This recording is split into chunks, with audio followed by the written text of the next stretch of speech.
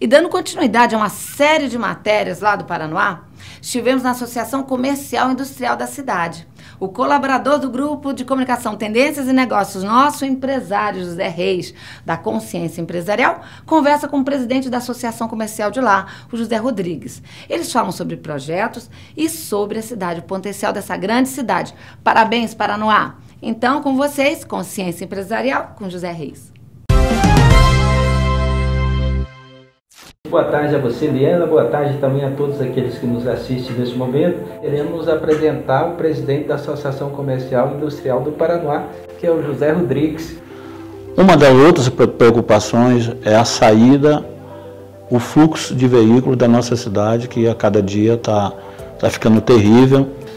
Uma das reivindicações foi a duplicação da DF 015, né, que dá acesso ao Lago Norte e ao Paranoá, da 250, que passa ali em frente aos condomínios La Fonte, Novo Horizonte, também o Entre Lagos, e a 01, né, que é essa que dá acesso aqui do Paranoá ao Lago Sul. Contemplando aí esse projeto aí que o vice-governador ontem teve, essa semana teve aqui no Paranoá, você acredita então que vai avançar a melhoria no desenvolvimento, né?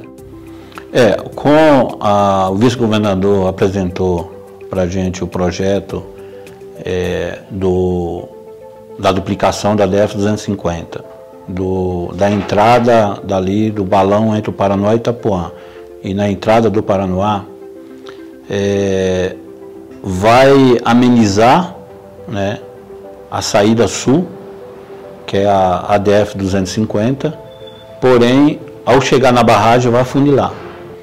Com a chegada do Paranaguá, como você citou, com certeza, é, quando terminar, quando entregar todas as residências, o, é, a cidade vai ganhar, a região vai ganhar mais aproximadamente 25 mil pessoas.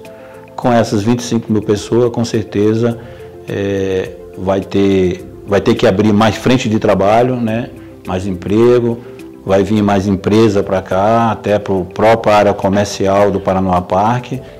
E com certeza a gente vai ter mais trabalho né, na associação comercial, como você faz parte da associação, é, para buscar é, mais benefício e mais segurança para a nossa região, porque vai aumentar 25 mil pessoas lá e o projeto do Tapuã Parque também está chegando com mais 50 mil pessoas. Então, mais 75 mil está chegando para a região nos próximos 3, 5 anos.